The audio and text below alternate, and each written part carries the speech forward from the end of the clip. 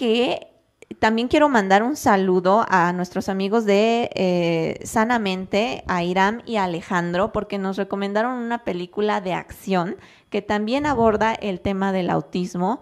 Está interpretada por Bruce Willis y se titula en inglés, el título es em, Mercury Rising, es de 1998 y al español se tradujo como Misión Seguridad Máxima. Ah, ya, también es un niño. Eh, De bueno, Bruce años. Willis, Bruce Willis es un eh, agente especial que ha sido eh, retirado porque le gira la ardilla.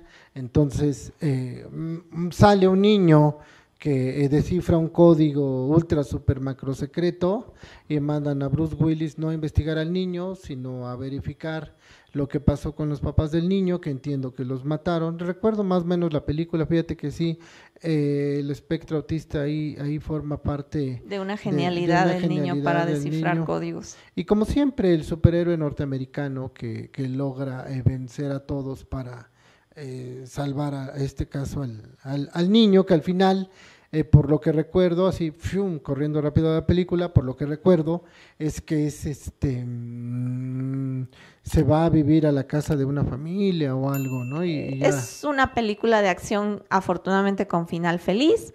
Eh, es una película de mucha tensión porque si no no conoces la historia, este seguramente eh, pues las escenas del metro, del vagón, de la lucha de Bruce Willis con los diferentes matones que intentan acabar tanto con la vida del niño como con la con, con su propia vida, está muy intensa. Pero vale la pena, es una película que pues en realidad sí retrata este pues en cierta parte algo de verdad que hay, eh, de hecho está basada en un libro, Una novela, ¿no? en una novela. ¿De qué? Un código secreto, algo por el estilo. al- más o menos está ambientada cuando Ronald Reagan? Ajá, eh, Donald, cuando era presidente Donald Reagan, eh, él creó un código que decía que ninguna máquina iba a poder descifrar y bueno, aparentemente pues no era tan seguro como pensaba. Eh, vamos rápidamente también con otra película que, que vimos que estaba contemplada para, la, eh, eh, pues, para el análisis el día de hoy, que es El Faro de las Orcas. Esta película es del año 2016 y fue dirigida por Gerardo Olivares, es una película argentina. Maneja un género de drama y romance, pero también tiene mucho, mucho que ver con el medio ambiente porque los escenarios que presenta son exteriores, son unos paisajes increíbles de mar, de avistamiento de varias especies, eh, pues, focas, leones marinos y, y, bueno, las orcas, ¿no? Eh, en esta película eh, que se desarrolla la historia en Argentina, una madre en su desesperación por, Una madre, pues era una madre. por este, hacer reaccionar a su hijo que y además era una madre española, ¿no?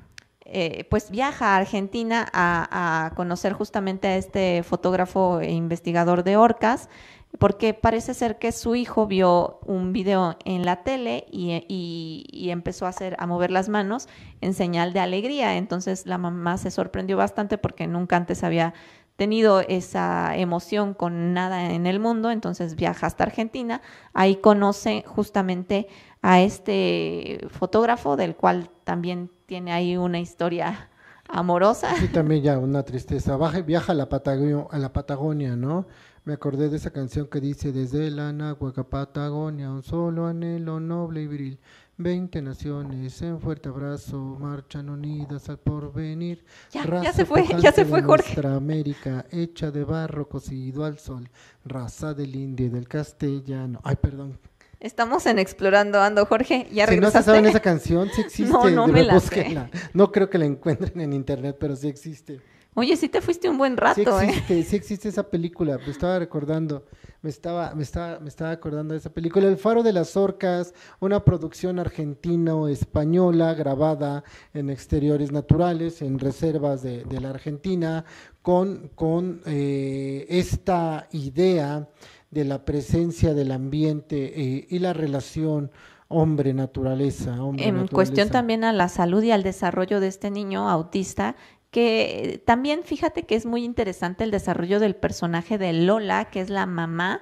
Eh, el niño se llama Tristán. El fotógrafo se llama Beto y Lola lleva a su hijo Tristán a conocer a las orcas, pues por la emoción que tuvo al ver el video donde el fotógrafo pues le daba de comer a una orca. Y nos enteramos durante la historia que el fotógrafo pues tenía un hijo que falleció, entonces la historia se empieza a volver un poco más sensible en, en la cuestión de los valores de la familia y de ahí, eh, pues hay una, hay una frase que me llamó mucho la atención porque al principio la mamá va con una actitud un poco hostil, un poco em, materialista a un lugar donde pues realmente hay una cabañita, ¿no? ¿Te acuerdas cuando le pregunta, oye, este, ¿me podrías decir dónde está el baño? Porque pues no lo encontré. Y le dice, ahí en medio de los dos faros. dice, ¿cómo? O sea, ahí a la intemperie así bien fresa, ¿no? y eh, pues este se entera que no hay baño, que tiene que hacer al aire libre y eh, pues eh, hay varias actitudes cuando ella lleva a su hijo y el fotógrafo los les permite estar cerca de, de cómo la orca pues se alimenta de focas y pues cómo la ahorcó no ¿A quién o sea, la orca la ballena de especie ah. orca así se le llama eh, se alimenta de focas y pues tiene una lucha y las lobos focas marinos. ah bueno de lobos, marinos. no es lo mismo la foca lobo marino entonces el hecho de que sea una película no no escapa a la realidad a las condiciones del control que debe existir para estar en esas áreas Así Y bueno, estábamos platicando justamente de esta escena que a la mamá le parece sumamente cruel, qué horror, cómo te atreves a, ponernos eh, para ver que la orca despedaza una, un león marino y se alimenta. Y le dice tranquilamente este Beto, le dice, pues es que ustedes acaban de vislumbrar algo que millones de personas, eh, afortunada, millones de personas pagarían, fortunas por ver lo que acabas de ver y tú lo único que puedes decir es que es algo sumamente cruel. La naturaleza es cruel.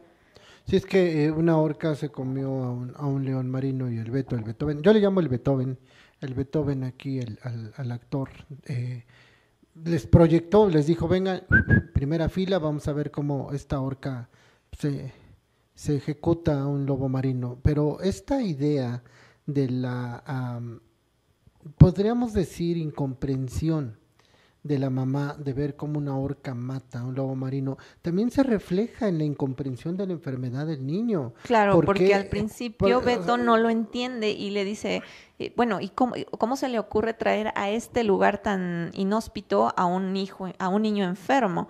Y entonces ya sola se pone a investigar qué es el autismo, encuentra con que el autismo está caracterizado por el repliegue de la vida mental al sujeto en sí mismo, llegándose a un mundo cerrado, separado de la realidad externa.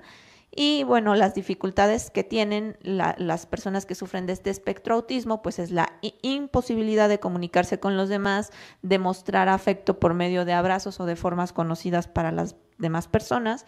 Y es ahí donde entonces empieza a hacer como clic eh, Beto de cómo puede ayudar al desarrollo del niño. Sí, y también eh, recuerda que critica a la mamá y le dice, oye, ¿cómo quieres que tu hijo mejore si no le das libertad? Estás, Eres sobreprotectora. Estás sobreprotectora, sí. Eh, esta, la actriz española, bien en su papel, no es de mis actrices favoritas de, España, pero bien, bien en su papel porque repele todo acercamiento. Eh, el café le parece amargo, las fiestas le parecen ruidosas, busca señal de celular en donde no hay señal de celular, eh, critica eh, el modo de vida de las, demás, de las personas. demás personas. Le dice, ay, no recuerdo hace cuánto me pongo una pollera, ¿no? Que es una falda larga. Y le dice esto en España, les decimos faldas. O sea, sí está en su punto también de no me acerco, no convivo. ¿Por qué? Por, por esta idea social o este estigma social de que quienes tienen el espectro autista pues son un guacalaste para allá tantito, ¿no? Sí, eso sucede. A ver, vivimos en un mundo en el que absolutamente todos somos criticados. Además, todos somos de una u otra forma ofendidos por los demás.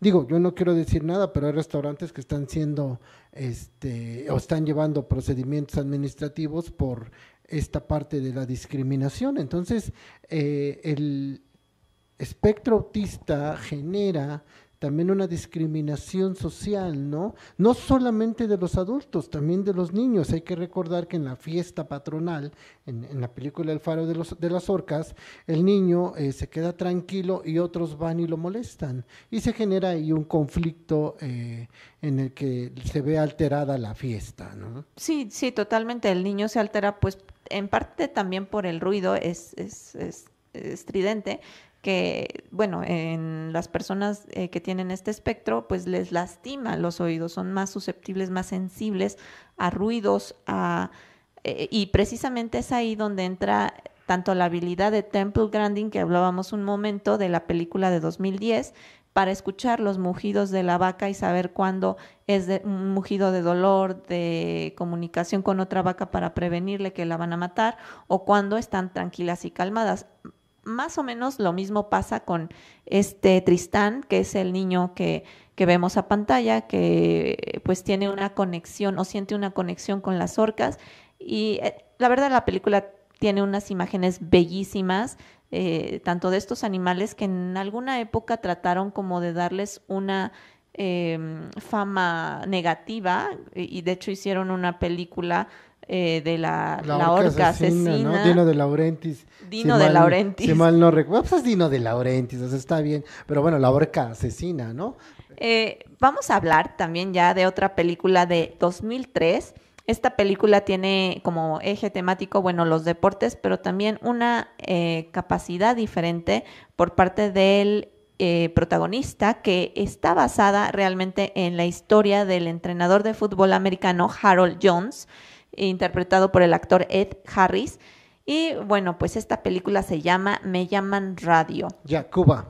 Con Cuba Golding, eh, del director Mike Tollin.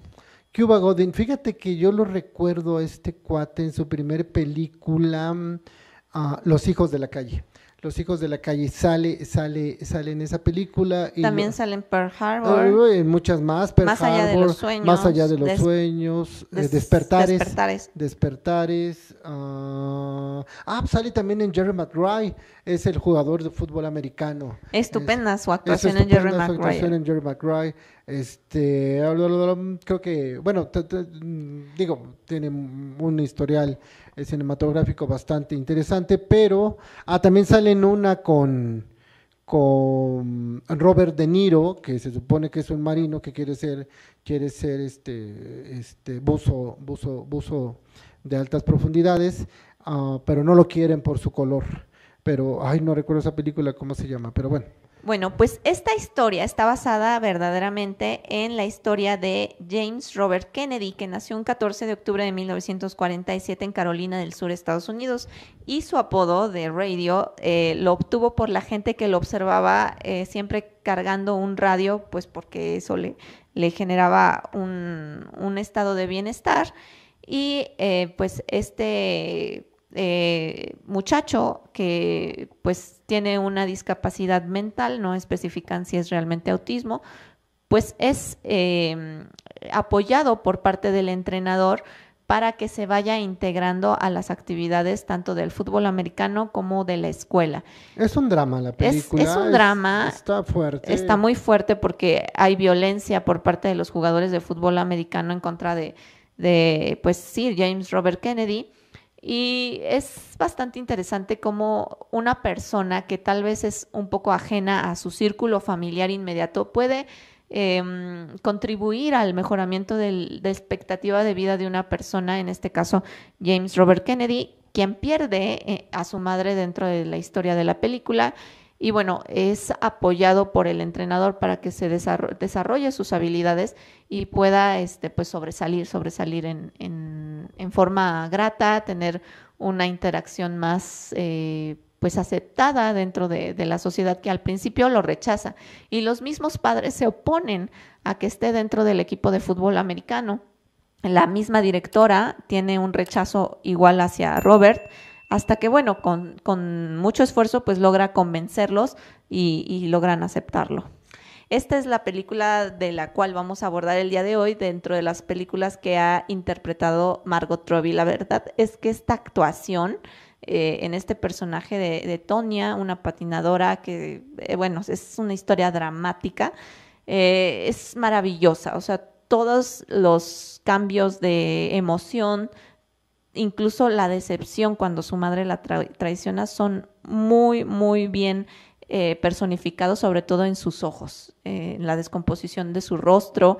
Eh, tiene una actuación En pantalla está Tonia, ¿no? En pantalla está Tonia. Sí, la verdadera patinadora, este, que tuvo que cambiar, pues, básicamente de giro, de, de jale, porque de ser patinadora artística, pues se volvió boxeadora debido, pues, a la sentencia que le, que le imponen pues por este dimes, diretes, que qué, que le hiciste esto a tu compañera, que no fuiste tú, pero que fue tu esposo, que no fue tu esposo, pero que fue su amigo, que no fue su amigo, pero que contrató un matón. Y bueno, pues la afectaron. Y fíjate que esta historia aborda un tema que es crucial y, ya lo habíamos abordado antes. Eh, ¿Quién más para dañar a una persona y destruirle la vida que su propia familia? Creo que eso es algo que se ve muy claramente en esta historia de Yotonia, que es, igual una historia biográfica. Eh, ella era una patinadora, fue la primer patinadora en hacer un triple... Eh, triple no sé cómo se llama, pero esa cosa. Uno, dos, tres y cae. Bueno, no cae. Triple Axel.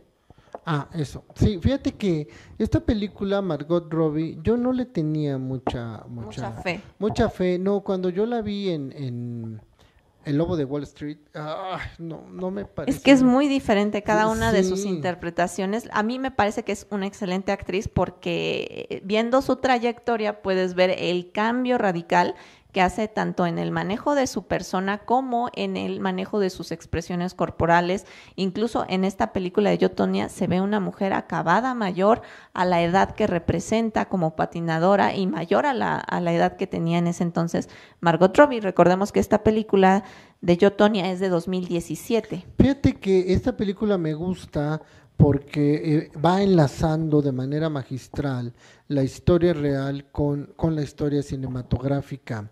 Es un drama, de hecho un dramón, tienes toda la razón, o sea, todo el aspecto negativo de la, de la vida, de la familia, va sobre Tonia, ¿no? O sea, hay que evitar que triunfe a como dé lugar. Empezando, bueno, por la, la, el personaje de la madre, eh, me parece un personaje muy bien interpretado, pero es que uno ve la película y piensa, es que no pueden haber madres así, y la verdad es que luego la, la, la ficción se queda un poco corta, ¿no?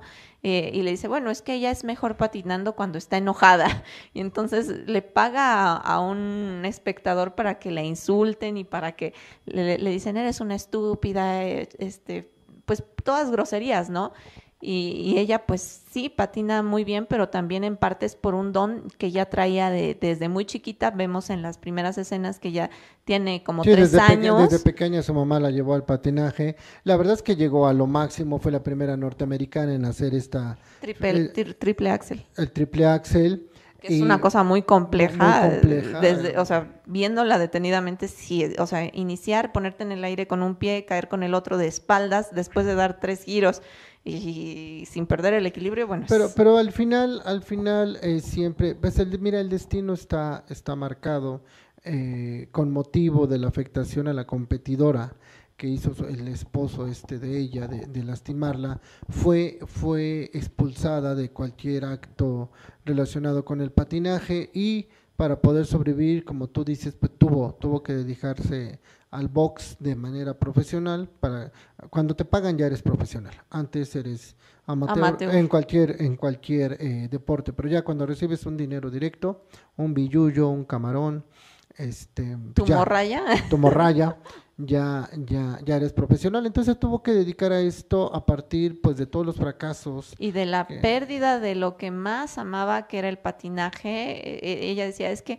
cómo me quitas el modo que yo conozco de vivir, no soy profesionista, no tengo otra forma de ganar el, pues el dinero de ser feliz, y de ser feliz más que patinando. Esa, esa, sentencia fue contraria a la Constitución y a los, derechos humanos. A la Constitución de los Estados Unidos a los derechos humanos, porque esa Constitución habla de la felicidad. Fíjate que la Constitución de los, de los Estados Unidos habla de la felicidad. Lo que busca, lo que busca la nación norteamericana es la felicidad. Es, es muy importante. Hoy día se mide la, felicidad. De hecho, el país más feliz del mundo está del otro lado. Dinamarca, Finlandia, No, hay otro, hay uno, hay uno muy chiquito. No, no, no, no, es un como Emiratos Árabes, algo para decir, un, paisillo ahí pequeño, digo paisillo pequeño, que tiene los más altos índices de felicidad. Aquí el INEGI mide los índices de felicidad, claro, de una forma subjetiva, pero bueno, se lo definen como calidad de vida, ¿no? Lo, lo, definen. Y pero, pero en Estados Unidos, la Constitución de los Estados Unidos habla, habla de Dios y habla de la felicidad. Entonces, esta idea de la sociedad norteamericana con lo que le pasa a, Tonia es, es, dramática, es, brutal, es dramática, le quitan lo que más quiere sin observar todo lo que hubo alrededor, ¿no? Todo el contexto, una mamá que te está pique y pique los ojos, un esposo que te está pateando, que te está golpeando y sobre todo esta parte del control y de la compra de, de, las votaciones, porque dice, oye, yo no tengo cinco mil dólares para, para pagar un traje profesional o para trajes, ella, pues sí, la verdad es que se ve el esfuerzo de una persona que ama el patinaje artístico haciendo eh, a máquina de coser eh, casera sus propios eh, trajes.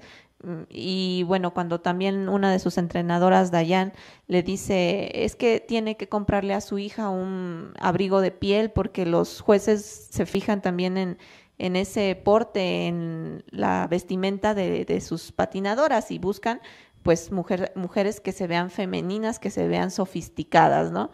Y, ella le dice, bueno, yo no tengo por qué eh, disculparme por ser pobre o por ser campesina, es lo que soy en un deporte donde unos malditos jueces pues quieren que seas una versión anticuada de lo que se supone que es una mujer. Y bueno, ella, como era campesina, pues eh, con su papá va y cazaba distintos conejos y con la piel les, les desolla la piel a los conejos y con los conejos pues se hace su abrigo de, de piel, ¿no? Y, y, también hay otra frase que dice, por ser la mujer número uno en Estados Unidos en lograr el triple axel, que se vaya pues mucho a la chingada, aquí diríamos en México. Ella utiliza otra palabra en inglés, shit. Y eh, también le dice, no sé qué quieras que te diga. Eh, eso se lo dices la mamá el día de su boda. Eh, casarte con el primer idiota que te dijo que eras bonita, vaya tonta, ¿no? Entonces, a veces... Sí, está este, complicado, es un, es un drama. y la mamá siempre con su cigarro, siempre es, criticándola. Es, una película bastante recomendable. como tú dices... Es un drama, pero la actuación de Margot Robbie me parece excelente. Sí, se están generando bastantes expectativas con su interpretación en Barbie. Pues vamos a, vamos a ver, mencionamos el día de hoy dos películas, esta Yotonia y su participación, no muy amplia, pero sí bastante erótica, si tú lo quieres ver de esa forma, en El Lobo de, Wall Street, pero eh, con, con, Leonardo DiCaprio. Entonces, eh, Yotonia, Yotonia pueden, pueden Esta película la pueden encontrar en Netflix está ahí, yo creo que va a estar un, cierto tiempo. Y bueno, chicos, pues ya saben, nos vemos la próxima semana. Suscríbanse al canal Explorando Ando. En redes sociales, si conocen alguna película que quieran que abordemos aquí, que quieran recomendarnos, no duden en ponerla en los comentarios. Santa bandera de heroicos carmines. Ya lo perdimos. Suben a la gloria. Nos vemos la próxima semana.